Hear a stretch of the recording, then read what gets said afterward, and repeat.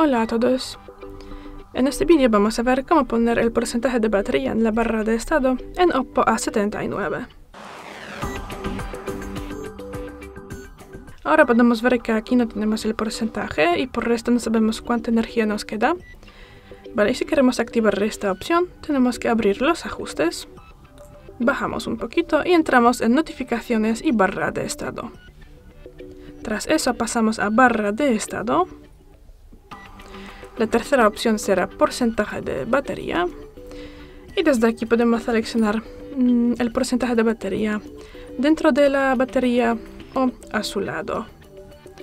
Yo voy a seleccionar la primera opción de interior y podemos ver que ahora eh, podemos ver el porcentaje. Y ya es todo. Muchas gracias por ver el vídeo, déjanos un like y suscríbenos. Hasta luego.